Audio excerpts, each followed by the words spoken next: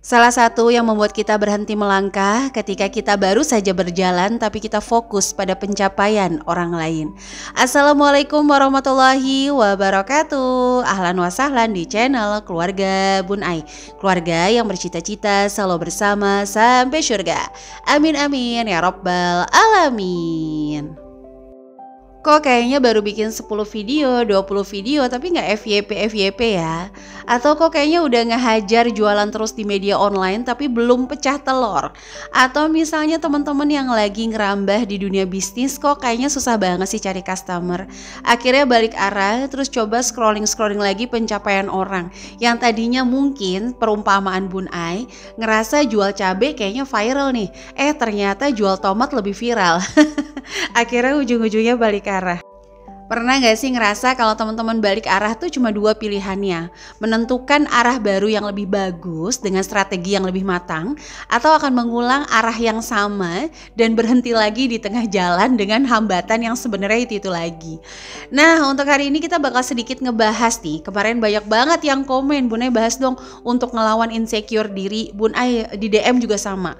Bahas dong perjalanannya, keuangannya Bun Ai Oke, kita sharing santai aja di hari ini ya. Masih awal bulan ya kan suasana juga sahdu banget nih di Depok. Nih hari ini per tanggal 4 Desember. Sudah bukan rahasia umum Bunda itu nggak pernah punya stok video. Jadi dari pagi sampai detik ini Bunda dubbing di sekitar jam 4 jam 5 sore itu hujan terus teman-teman. Nah, perjalanan keuangannya Bun Ay oke. Nah, ini adalah salah satu uh, bentuk perjalanan keuangan di mana Bun Ai tadinya niatnya mau ambil KPR. Nah, di sinilah momentum di mana Bun Ai belajar tentang suku bunga. Bener-bener belajar suku bunga, pajaknya, floatingnya, PBB, IMB, pokoknya semua tentang KPR Bun Ai pelajari pada momen ini. Jadi kan sertifikasi keuangan Bunda itu baru ngambil di tahun ini ya, sertifikasi keuangan, public speaking dan sebagainya sekitar 7 sampai 8 sertifikasi tahun ini nih yang baru Bunda ambil. Sebelumnya itu nggak sama sekali. Ini otodidak. Bunda mau tahu gimana sih nanti uh, kalau aku berhutang kira-kira backup nggak sih untuk cicilannya? Nah ini adalah salah satu perumahan deket perumahannya Bun Ai.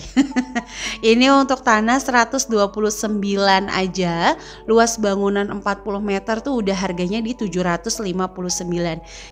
Ini jujur bukan perumahan di jalan utama. Kalau Bun Ay alhamdulillah masih masuk ke kategori jalan utama. Nah, untuk cicilannya aja ini Bun Ay bongkar ya sama teman-teman di hari ini. Untuk cicilan yang 10 tahun dengan income tetapnya Bun Ay aja nggak dipotong apa pun, kayaknya nggak sanggup deh untuk bayarnya. Nah, jadi udah bisa nih ya meraba-raba. Kenapa Bun Ay nggak pernah speak up dari dulu gitu? dari ratusan video Bun Ay budgetingnya bener-bener Bun Ay real tuh nggak pernah mau karena yang pertama Bun E takut uh, teman-teman ngerasa insecure. Yang kedua teman-teman gak percaya, ah masa sih, ah bohong sih gitu ya. Jadi lebih baik Bun E keep sendiri. Tapi tabarakallah pentingnya banget nyusun target lalu mentransfer energi seyakin mungkin kepada Allah itu membuat Bun Ai itu kayak ngerasa hmm Allah tuh memang seluar biasa itu. Bahkan waktu awal Bun Ai nempatin rumah yang ini aja sempet juga noraknya Bun Ai itu keluar. Beberapa kali kayak ngerasa alhamdulillah ya gak jadi KPR, alhamdulillah banget ya. Ternyata bisa beli rumah yang luasnya sama dengan rumah lama. Jadi kalau rumah lama itu 150, kita di 144-nya teman-teman. Sekali lagi bagi sebagian orang itu pencapaian yang biasa-biasa aja, tapi pencapaian orang itu berbeda-beda. Makanya kalau kita mau ngomong orang itu norak atau enggak, jangan cepet apa ya, jangan cepet menjas atau bahkan orang itu nggak bisa nabung karena gaya hidup itu nggak bisa juga seperti itu. Karena memang budgeting ini berpengaruh sama emosional, eh, lingkungan, terus juga pola didik. Satu DM yang bener-bener kayaknya tuh nampar Bun Ai adalah enak Bun Ay yang rumahnya estetik sih ya. Dia udah punya modal gede emang dia tercukupi juga. Ditambah rumahnya mendukung jadi makin banyak nih follower dan Shopee afiliatnya misalnya. Nah jujur ya sama teman-teman, Bun Ai bukan dari uh, ibu rumah tangga yang setelah menikah basic bahkan hingga detik ini pun yang kayak semuanya itu mau usaha nggak usaha Bun Ai dibebaskan. Itu enggak. Tapi memang harus berdua nih karena memang keinginan kita itu harus berdua lah jalannya. Intinya seperti itu Bunda pernah ngerasain duit tinggal 5 ribu terus anaknya minta lele. Bunda pernah ngerasain ya aduh ini belum gajian tapi semua semuanya udah pada habis. Itu Bunda ngerasain. Pernah ngerasain juga jualan lauk matang loh yang delivery setiap hari ya. E, pernah juga yang Bunda masak sehari itu ayam bisa 10 kilo telur 10 kilo. Sebelum berangkat suami itu udah nganter-nganterin lauk matang wah kalau cerita tuh Masya Allah tabarakallah ya. Jadi intinya Bun Ai memutuskan menjadi ibu rumah tangga dari awal pernikahan bukan ketika suami Bun Ai itu bisa mengcover semuanya ya. Oke, jadi di sini Bun Ai mau sharing dulu sedikit. Kalau tahun 2023, Bun Ai sempat pakai metode di mana income-nya Bun Ai mengcover kebutuhan. Lalu income-nya Pak suami itu spesial banget. Bun Ai langsung masukin tabungan juga mengcover iuran tetap kayak IPL, terus misalnya SPP anak-anak, nah itu pakai income-nya pak suami. Jadi kalau untuk belanja bulanan, belanja sayuran, jajan anak-anak, nah itu pakai income-nya Bun Ai. Tadinya seperti itu. Akhirnya Bun Ai ikut sertifikasi, ternyata itu salah. Bun Ai ubah lah nih, di mana semuanya menggunakan dulu income pak suami, kalau kurang itu pakai income Bun Ai. Tapi maaf banget, ternyata setelah Bun Ai evaluasi itu nggak nggak terlalu efektif ke Bun Ai. Bun Ai jadi lebih males, lebih kayak ngasal-ngasal, kerjanya ngikutin mood, terus nggak ada target kan kalau dulu harus punya income sekian nih. Soalnya kalau income nggak sekian nanti kebutuhan anak-anak jadi mundur. Yang tadinya belanja bulanan bisa e, berapa gitu ya karena income-nya turun mau nggak mau jadi turun. Setelah diskusi sama pak suami insya Allah mudah-mudahan e, tetap tidak mengurangi keberkahan rezeki kami kami memutuskan nanti untuk di tahun 2024 menggunakan metode kembali di mana income sampingan kami akan mengcover kebutuhan. Nah untuk tahun 2024 Bunda itu udah bikin budgeting. Mungkin bagi sebagian orang ini nggak penting. Kenapa bisa nggak penting? Karena budgeting itu cuma ditulis tapi tidak dievaluasi dan tidak dipelajari. Mohon maaf Bun Ai tegas sekali untuk hal ini. Karena beberapa peserta Smart Mom Class Beberapa tim dari SMC Itu udah ngerasain efek dahsyatnya budgeting yang dipelajari. Bukan cuma ditulis aja ya Ada yang tadinya ngomong, kapan ya punya uang 5 juta? Ternyata dengan income yang sama, mereka bukan cuma punya uang 5 juta, tapi punya uang akhir tahun ini sampai 20-25 juta. Bahkan yang tadinya berpikir cicilannya tuh nanti lunasnya 2026, ternyata lunas dalam sekian bulan. Ingat sekali lagi, income tetapnya tidak berubah, tapi mindsetnya berubah, terus mendatangkan income-income sampingan yang lebih konsisten. Sebenarnya intinya di situ.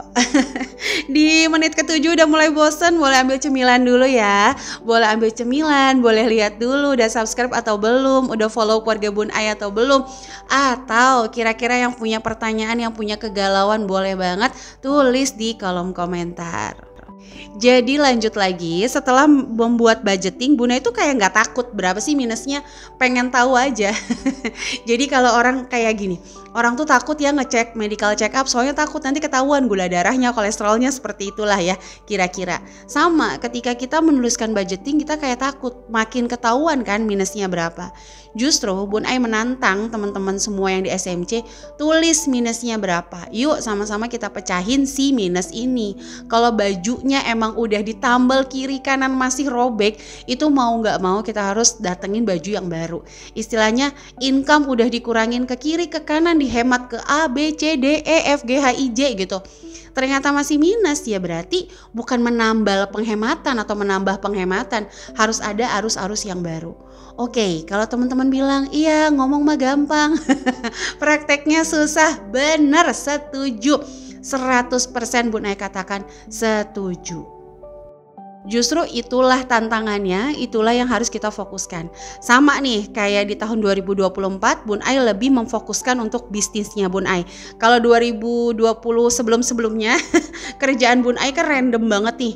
Dapat income, dapat banget alhamdulillah ya Bun Ai nggak menam, ya menampik ya rezeki Allah.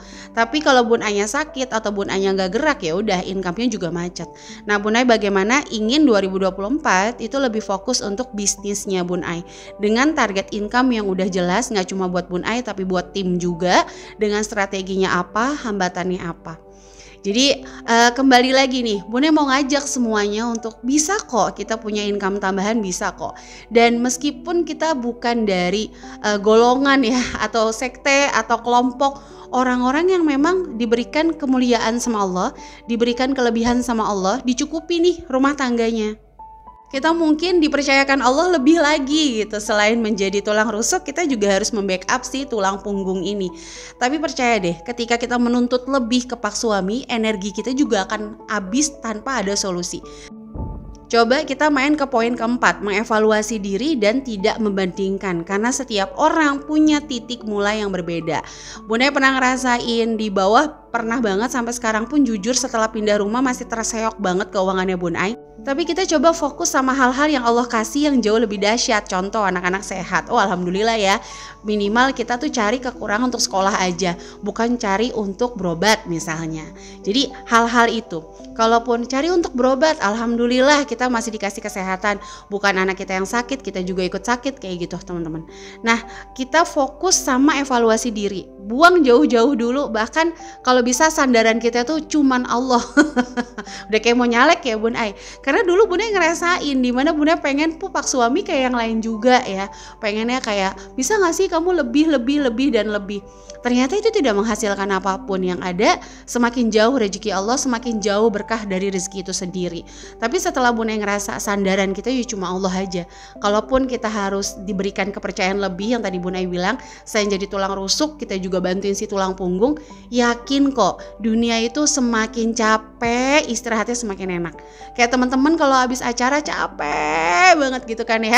Itu tidurnya pasti lebih pulas sama di dunia ini mungkin kayaknya capek banget. Tapi kembali lagi kalau niatnya karena Allah pasti nanti di akhiratnya akan jauh-jauh lebih enak.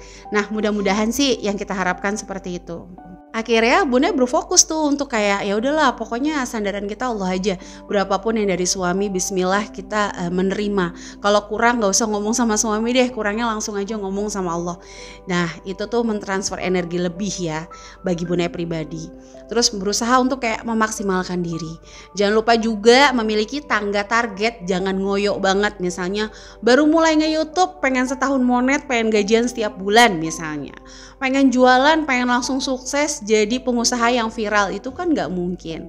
Jadi kita bikin step by stepnya, jangan lupa jangan terlalu menikmati proses tapi harus selalu ngecek progres. Selanjutnya di sini kita harus melawan diri sendiri dan menghargai pencapaian sendiri teman-teman. Jangan kita ngeliatin orang, kok kayaknya dia hebat banget ya. Atau kok kayaknya dia mudah banget sih tiba-tiba FYP, tiba-tiba subscribernya udah ratusan ribu, income-nya puluhan juta, jualannya tiba-tiba laris banget. Bun A itu kadang-kadang mikir gini, jangan-jangan ada dari kisah hidupnya mereka yang terdahulu yang kita nggak ngalamin dibayar Allah di momen ini. Entah kisah hidup yang mungkin dia harus tinggal sama bukan orang tuanya atau tiba-tiba dia memang harus menjadi tulang punggung setelah ayahnya nggak ada. Itu banyak banget sih kisah-kisah yang masuk ke Bun Ai yang akhirnya Bun Ai menemukan formula bahwa hmm, Allah itu kadang mau bayar butuh waktu bertahun-tahun. Setelah kita ikhlas menjalani semuanya, tiba-tiba Allah bayar dengan sesuatu yang indah. Nah, bisa jadi apa yang kita kerjakan hari ini tidak terlihat bayarannya, tapi kita nggak pernah tahu kemuliaan itu jatuh ke anak kita. Wah, itu kan lebih menyenangkan lagi ya. Atau jatuh kepada apa? Kepada pencapaian kita yang selalu merubah diri, teman-teman. Jadi, kembali lagi, ayo susun budgetingnya. Jangan pernah takut sama kekurangannya, karena kalau sandaran kita Allah, kita akan semangat untuk berusaha. Rezeki sudah tertakar, tidak akan tertukar, bener banget. Nggak mungkin rezeki milik yang rebahan-rebahan aja. ya, ketukar sama orang yang penuh dengan semangat. Oke, jadi ini aja video dari Bun Ais. Semoga bisa melawan titik insecure kita. Bun juga masih meraba-raba uh, semangat dari diri Bun pribadi. Menjaga konsistensi itu emang susah. Mudah-mudahan video ini bermanfaat. Sampai jumpa lagi di video selanjutnya. Wassalamualaikum warahmatullahi wabarakatuh.